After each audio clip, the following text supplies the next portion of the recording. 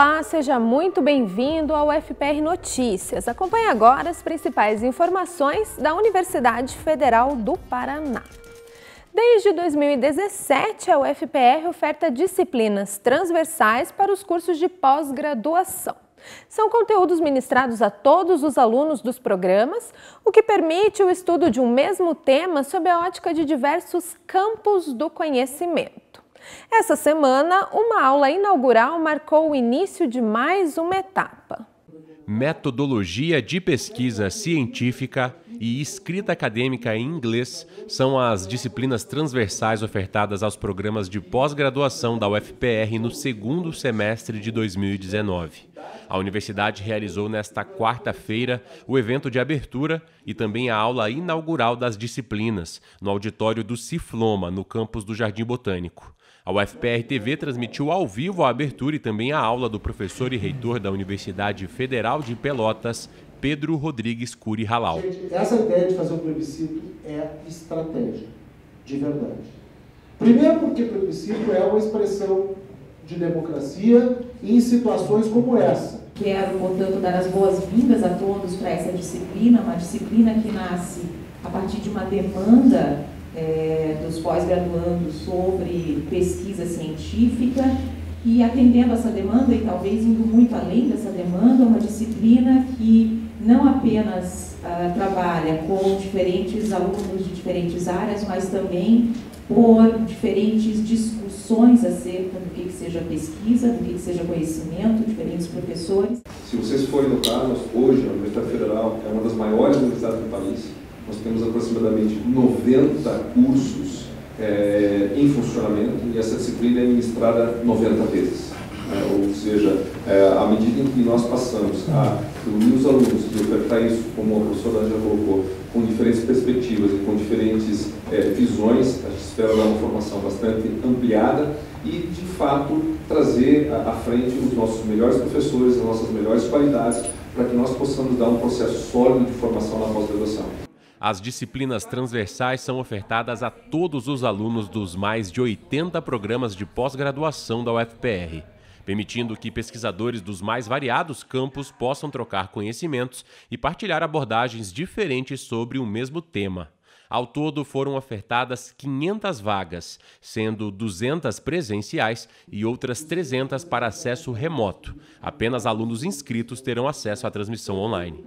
Além dessa disciplina, que realmente é um exemplo, a forma como ela está sendo gerida e ofertada, tem sido um exemplo para outras universidades do país que os olham como espelho pelo sucesso do trabalho sendo realizado, mas para enfrentar a crise, a reitoria, junto à BRPG, tem, desde o ano passado, aberto editais internos, buscando financiamento próprio para que a pesquisa continue. Essa disciplina transversal, que promove essa discussão tão interessante, esses diferentes olhares em termos de pesquisa, né?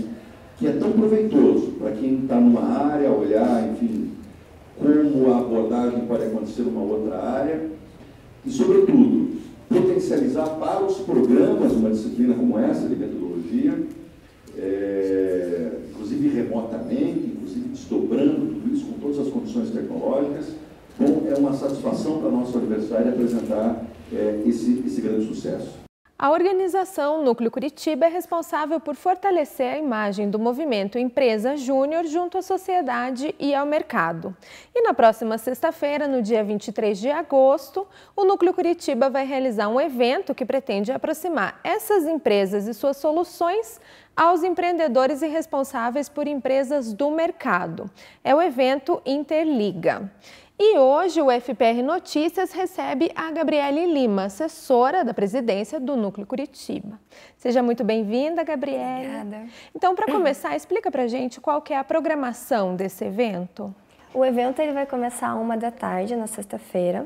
Ah, o primeiro momento do evento vai ser a rodada de pitch, em que as empresas juniores poderão apresentar as suas EJs, poderão apresentar seus produtos, o que elas oferecem. O segundo momento é um Fast Consulting mais um Coffee. O que é Fast Consulting? Fast Consulting é uma, é uma metodologia de consultoria rápida, onde as empresas poderão conversar individualmente com os convidados do evento e sanar dúvidas e até sugerir projetos para que a, o negócio deles fique melhor, fique melhor. E quem são os palestrantes que participam? Serão oito EJs, oito empresas juniores, e elas têm dos cursos de Engenharia, Administração e Economia da UFPR. As engenharias são das mais variadas, tem engenharia química, elétrica, mecânica, é, engenharia de produção, e daí teria o curso de Administração e Economia. Uhum. E quem é o público-alvo? Quem é que pode participar desse evento? Empreendedores de Curitiba ou proprietários de empresas ou startups. E para finalizar, então, Gabriele, quem é, onde acontece o evento, o horário, tem valores, as pessoas que vão participar e que vão estar nesse, nesse local, no evento, elas precisam pagar alguma coisa? Tem alguma inscrição anterior? Tem inscrição, sim. É, as inscrições são gratuitas, então qualquer pessoa que gostaria de ir lá conhecer as nossas Jotas e conhecer melhor o seu negócio pode se inscrever de graça. O evento começa a uma da tarde e vai até às seis da tarde e será no Auditório de Sociais Aplicadas ali no campus botânico da UFPR. Uhum. Legal, Gabriele, obrigada. E agora, se você ainda não sabe o que fazer no final de semana, confira as dicas da nossa agenda cultural.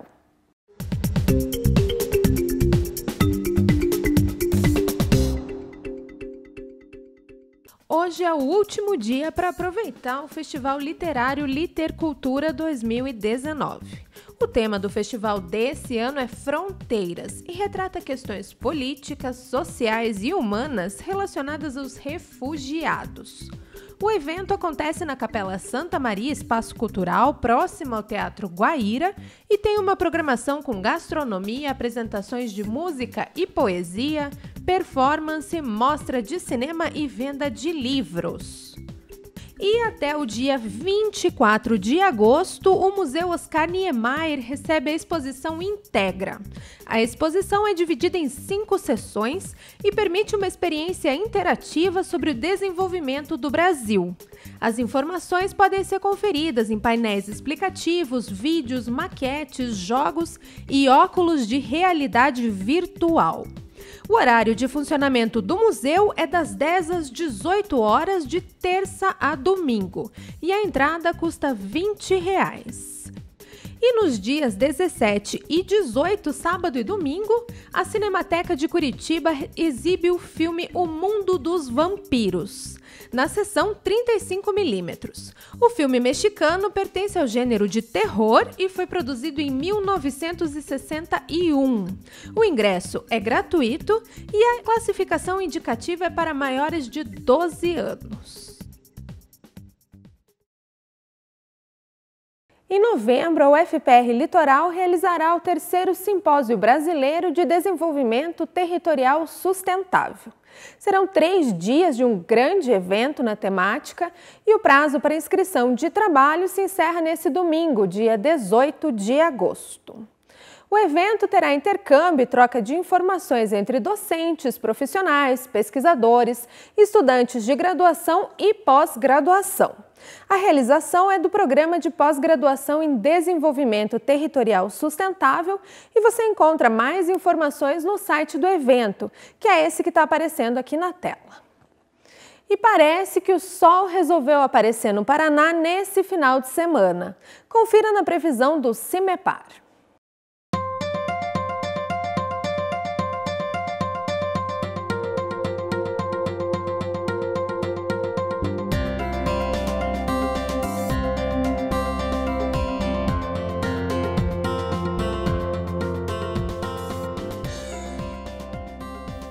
Nesta sexta-feira, o tempo fica estável no Paraná.